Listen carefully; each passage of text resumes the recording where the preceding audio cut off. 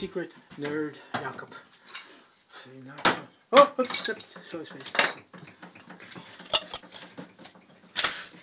He prepares himself as any great surgeon would. Washes his hands. Now he's praying. Now, okay, he's taking the holy altar comes out now.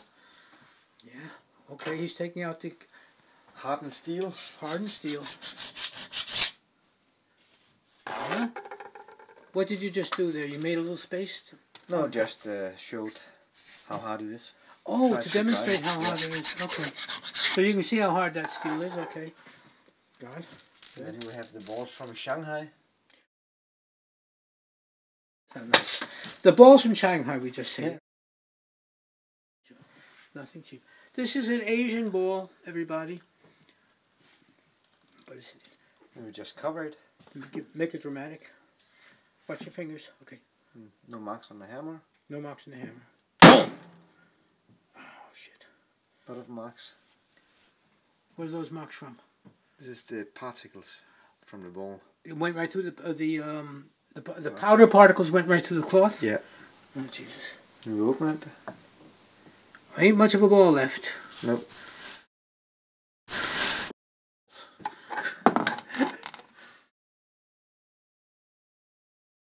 Okay, we have now have the cleaning lady come in and vacuum. He just did that too.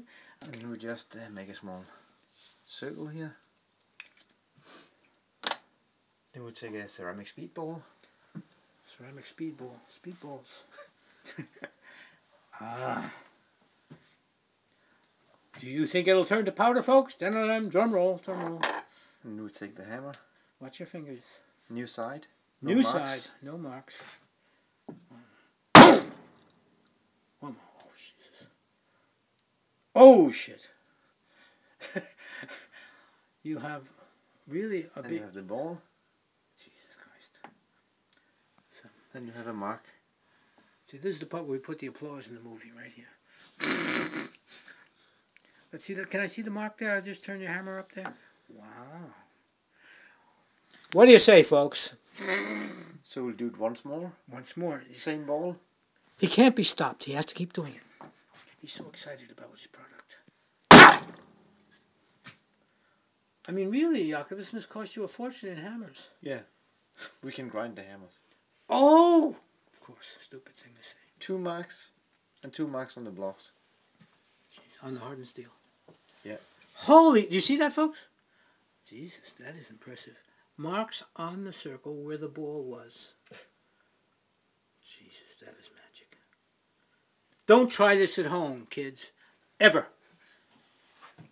And this was, and, and Ceramic Speed takes no responsibility. This guy here is actually Fred the thief who broke in at night because he took the product and did it. And Jacob's upstairs sleeping. So he doesn't know. So Ceramic Speed has no responsibility for this thing but the balls.